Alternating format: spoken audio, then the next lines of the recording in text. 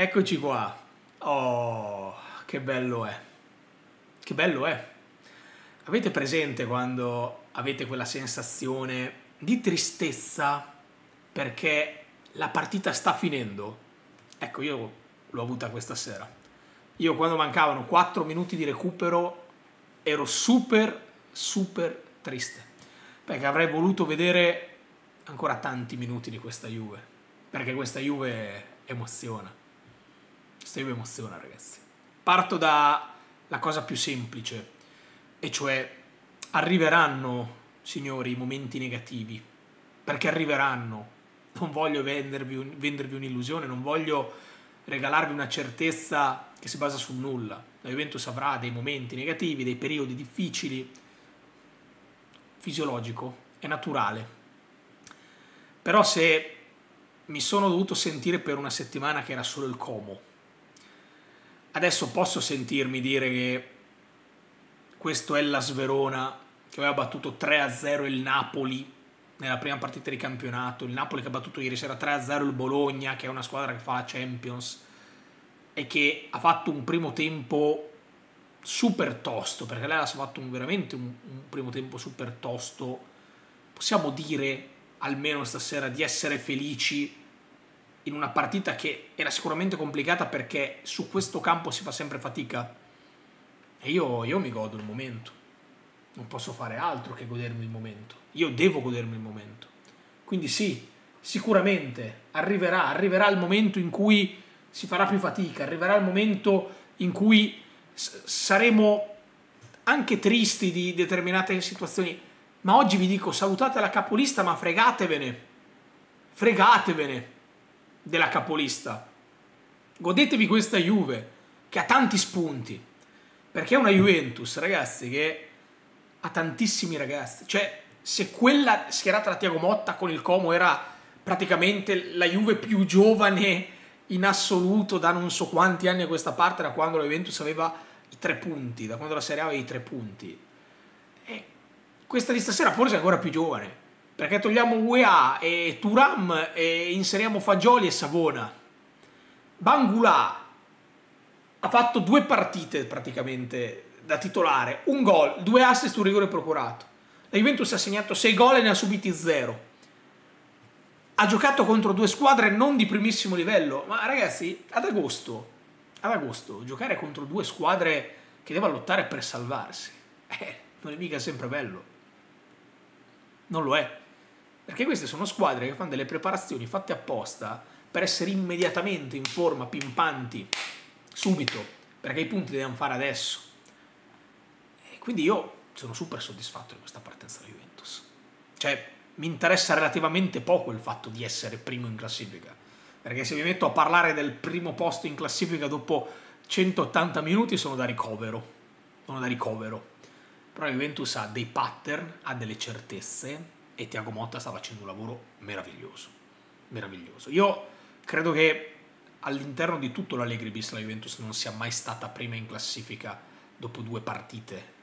Eh, correggetemi se sbaglio, ma dovrebbe essere così perché eh, mi sembra proprio di sì. Ma ripeto, fa lo stesso cioè il primo posto lo lascio da parte. È ovvio che fa, fa piacere, guardi la classifica e dici ok, l'abbiamo già messa come piace a noi, come pare a noi, però concentriamoci su quello che è stato.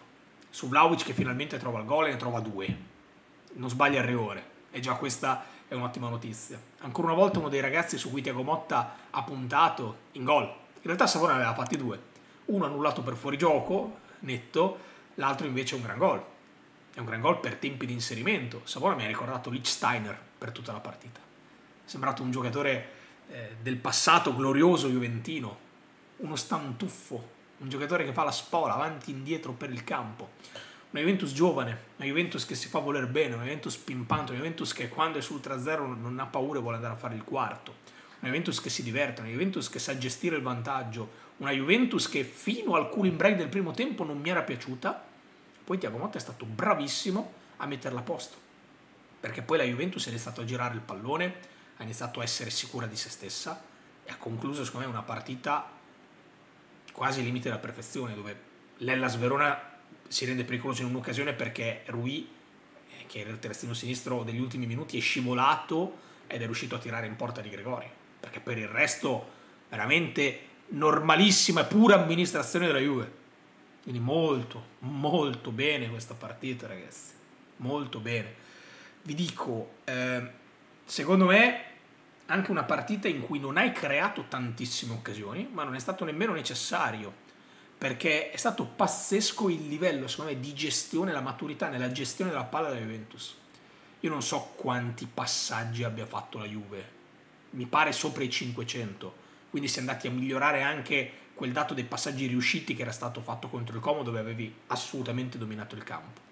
Ma la Juventus mi sembra veramente sempre padrona, perennemente padrona del gioco. Per quello vi dico, arriverà sicuramente il momento in cui andrà in difficoltà, già questi primi minuti a Verona secondo me tra imprecisione e fretta erano stati dei minuti che mi avevano fatto dire attenzione, occhio, non è detto che riusciremo a dare continuità, invece poi siamo riusciti a venirne fuori.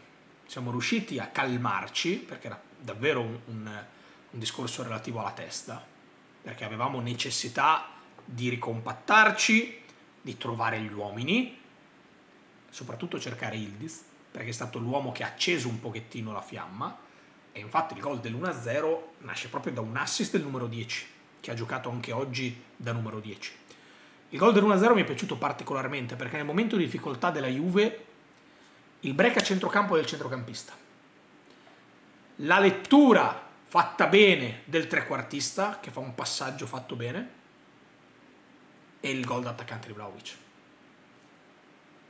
Era tutto perfetto. Poi, per come lo vedo io il calcio, quando tu riesci ad andare eh, a fare gol o comunque un, un break, eh, una ripartenza, arrivare a concludere l'azione con due o tre passaggi al massimo è meraviglioso quindi quel pressing lì a me è piaciuto tanto. Quella, quel break di Locatelli pulito, quel passaggio di Ildiz e Vlaovic che in mezzo a tre uomini riesce a fare gol. Gol del 2-0 abbiamo già detto, è stato Savona con un ottimo tempo di inserimento e il 3-0 è la Juve che si diverte. Va sugli esterni, cerca l'ampiezza con Bangula ancora una volta, giocatore che sta facendo veramente molto molto bene in queste prime apparizioni, ancora una volta eh, Gatti capitano, ancora una volta i brasiliani tranne Bremer in panchina, insomma Tiago Motta sta iniziando a costruire la sua Juve, Juve che devo dirvi la verità, eh, in queste prime due partite in emergenza totale ha dato delle ottime risposte, perché ora si aggregheranno Nico Gonzalez, Francesco con Seisao, vedremo anche gli altri sul mercato, oggi c'era Calulu che ha fatto il suo esordio, eh, vedremo quando torneranno UEA e Turam dagli infortuni, lo stesso Milik che era infortunato, c'è un giocatore che non ha ancora giocato, Danilo ha fatto pochi minuti, entra- non è ancora entrato neanche McKenny per dire che è un giocatore che è stato reintegrato.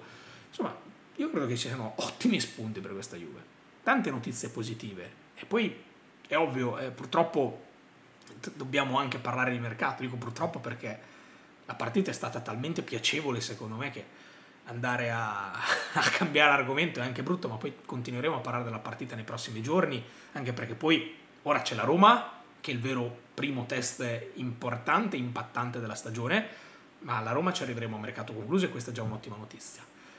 Si è un po' complicata la situazione legata a Chiesa al Barcellona, si parla anche di Premier League per lui, vedremo un attimino, ma in questo istante, quindi cambiamo schermata, ha twittato veramente pochissimi istanti fa anche Fabrizio Romano su Commainers. La Juventus prima della partita ha avuto delle, delle chiacchierate positive per Cobb Mainers. È molto convinta di poter avere la luce verde dall'Atalanta. Dopo oggi si attende la decisione ufficiale. L'offerta è sempre quella: 52 più 7 di bonus con la clessidra per Cobb Mainers. Attenzione alla giornata di domani. La giornata di domani potrebbe essere importante, impattante, anche fronte mercato. Molto molto bene. Direi che inserire all'interno di questa squadra anche un giocatore come Cop e chissà, magari anche Sancho potrebbe essere molto molto bello, quindi giornata bollente anche domani. Dobbiamo per forza di cose dedicare uno slot anche al mercato nella giornata di domani. Eh, dobbiamo fare così. Quindi vi faccio una promessa. Domani mattina vi sveglierete con le vostre pagelle. Tutte belle, parleremo della partita domani mattina, pagelle. Per gli abbonati al canale ovviamente le pagelle saranno già disponibili questa notte. per tutti gli altri domani mattina alle 7. E poi nel pomeriggio parliamo di mercato, parliamo di Cobbenders, parliamo di Chiesa, parliamo di Sancio, vediamo cosa succede. Andiamo a letto col sorriso, ci svegliamo col sorriso e finalmente respiriamo un'aria veramente nuova, pulita, inedita, poco inquinata. Respiriamo un'aria puramente dedicata alla Juventus. Ed è bello così e ce lo meritiamo. Forza Juve ragazzi, forza Juve.